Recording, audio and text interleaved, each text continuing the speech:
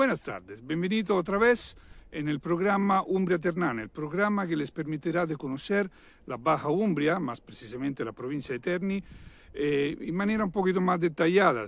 Yo le voy a enseñar a mostrar lugares conocidos de esta zona, pero también los lugares menos conocidos como este. Como puede ver detrás de mí, a una iglesia construida por los benedictinos eh, alrededor del noveno eh, siglo después de Cristo. Eh, la particolaridad, como también puede ver de aquí, pero ahora le voy a enseñar mejor, es su posición y el panorama. Y ahora vamos a verlo. Now we're approaching to the church. Before to do this, I'm going to show you this heart garden. The statues. We are in a place made by the Christians. This is a, a Christian Catholic church. I'm going to show you the landscape and then I'm going to talk about it. As you can see, we are in a mountain. The name is San Silvestro. The church is San Silvestro 2. This is a cross, the cross. And now we approach, we go to the church.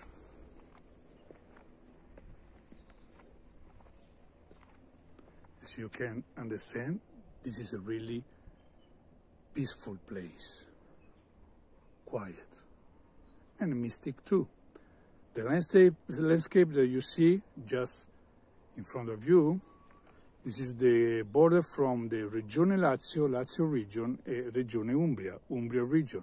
We are very close to, uh, from Rome, just one hour driving. So it's very easy to come here in this part of Umbria uh, this region is famous for these, it's green, uh, vegetables, nature, landscape, but also for our slow life.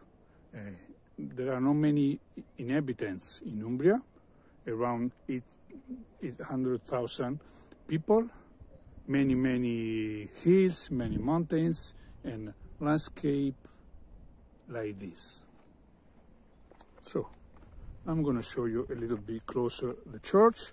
Very simple church, made more than 1,000 years ago with stones, as you, as you can see.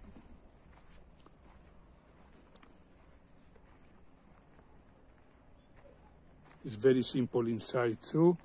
It's not big, it's quite small. Many people come here to work. I saw many of them before, but now it's a little bit quiet. Now is a, we are close to the springtime. So from now to the end of November, there is no better place. I guarantee you. So, if you like this video, I ask you and suggest you to, to share it. But I also uh, suggest you to subscribe yourself to this account, Umbria Ternana, on YouTube, so you can be advised anytime I'm to charge the new video. And I promise you, I'm to charge many videos to uh, show you, to let you know this incredible south part of Umbria region. So, to the next time. Bye bye. Thank you.